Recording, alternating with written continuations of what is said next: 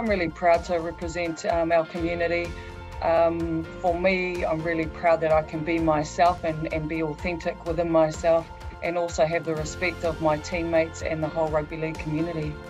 When you look at inclusion, it's really about ensuring that our environments, our sporting environments are open to everyone. I know initially uh, when I was younger, I was really worried about what people might think of me, but um, again, I go back to wanting to be my true self and uh, what I found through through being authentic was that actually people were really quite accepting, accepting and welcoming of me and, and who I am. So yeah, that was a real bonus, and I found that the sporting communities are really welcoming um, to to all people in terms of inclusivity.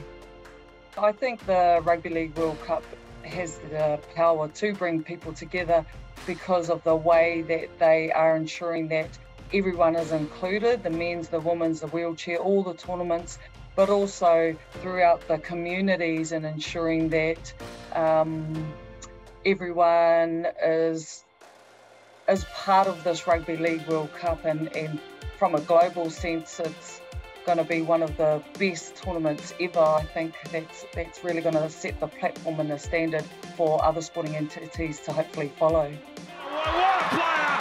Honey Hireme is a world-class athlete. I just hope that the uh, Rugby League World Cup shows other sporting um, entities around inclusion uh, on a global stage, ensuring that you know everybody can play um, and that we focus on people's abilities. Um, I think it's really important that um, we ensure that our sporting communities are open to all. Captain gets it done. Good.